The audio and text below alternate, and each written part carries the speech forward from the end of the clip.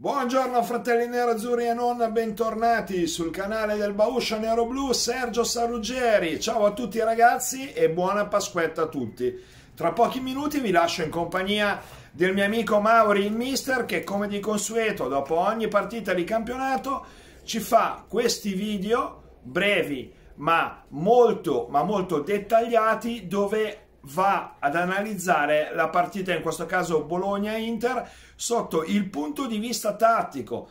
Grazie a, a qualche Skytech e a, a qualche ferma immagine ci va a spiegare come è stata la tattica di questa partita, cosa che a me piace molto perché? Perché Dopo aver visto questo video ci facciamo un attimino un'idea più dettagliata e più precisa se il tal giocatore veramente non ha giocato bene o semplicemente è, è andato a fare quello che il mister gli aveva chiesto. Ecco, parlo chiaramente in generale, ma dopo queste analisi iniziamo a capire un po' di più di quelli che sono i piani gara e andiamo a capire la prestazione della squadra.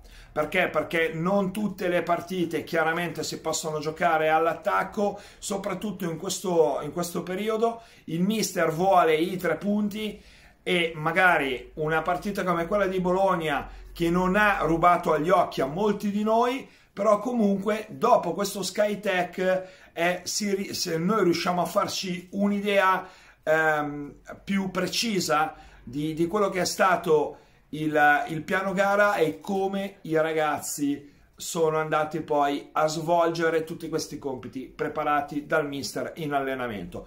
Ragazzi, allora buona visione, mi raccomando, andate a seguire Mauri il mister perché è un allenatore, non è uno youtuber e quindi eh, guarda il calcio e ve lo racconta sotto questo punto di vista qua.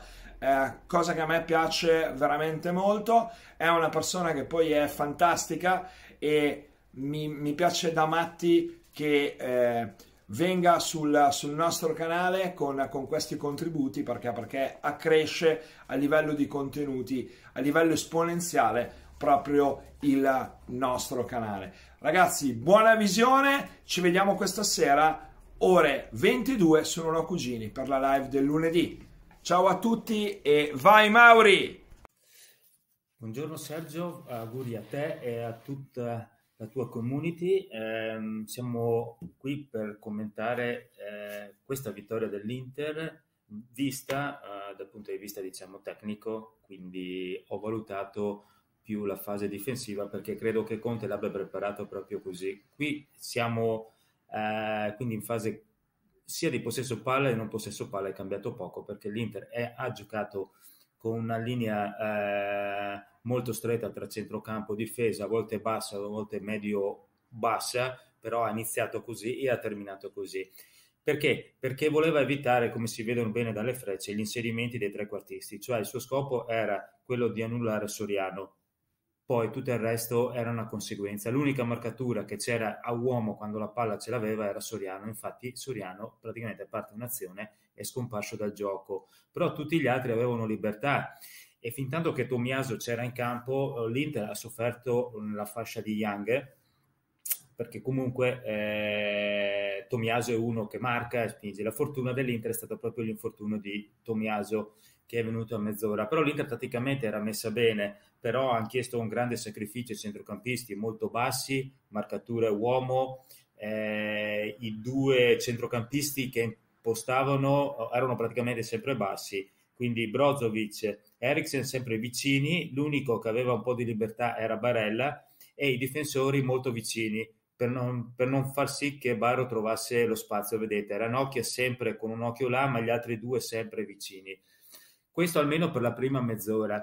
E, e questo era quello che non voleva il mister, cioè di lasciare Soriano libero in mezzo e invece le due cerchi blu che avete visto erano liberi, quindi era già calcolato che sugli esterni sia Kimi che Young sarebbero andati in difficoltà.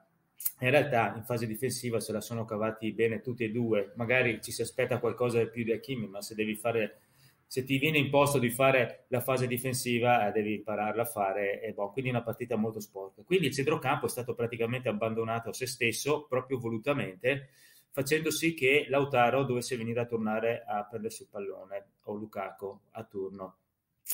Però il Bologna allo stesso tempo era molto forte perché adesso la slide purtroppo è passata veloce, riusciva ad andare via molto velocemente anche attraverso l'altro giocatore forte che loro avevano che è praticamente eh, Scouten. L'azione del gol, l'azione del gol, ripeto, è nata tutto appunto, si vede benissimo qua, dall'inserimento dei bastoni, dal momento in cui non c'era più uh, eh, Tomiaso, eh, sono andati in difficoltà, non hanno saputo leggere bene le, le marcature, l'inserimento, l'unico inserimento che c'è stato da parte di Bastoni che era libero da marcature ed è venuto fuori il gol. Poi l'Inter ha continuato a giocare sempre stretto a mezzocampo, no? E con lo Skytech che ci hanno fatto vedere ieri, proprio questa è l'immagine più bella, si capisce proprio l'Inter che era voluto, vedete, linee bassissime, molto vicine, Brozovic, Eriksen a fare i mediani davanti alla difesa, Barella a turno stava chiuso a centrocampo, però comunque aveva più libertà degli altri due. E per quanto riguarda la costruzione era praticamente impossibile perché eh, loro con la pattuglia dei trequartisti eh, non ti impedivano di costruire un'azione con i centrocampisti che stavano così bassi. Questo ha fatto sì che eh, Ranocchi ha fatto una bella partita, eh, però legata anche al fatto che comunque Barro non ha ricevuto palla.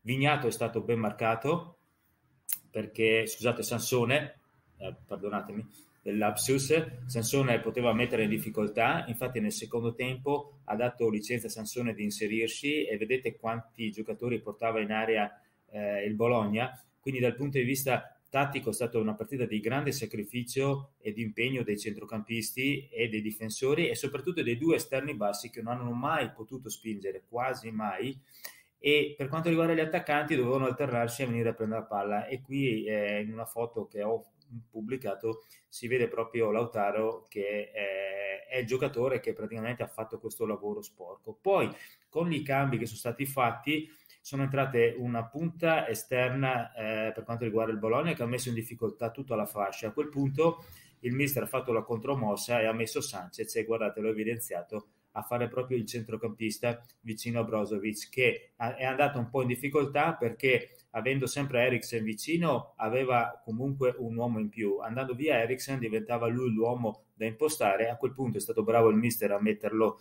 Sanchez e guardate al 78esimo l'Inter come era ancora stretto nelle linee. Quindi complimenti voluta la partita bassa così partita molto sporca però tatticamente è stata proprio decisa di giocarla così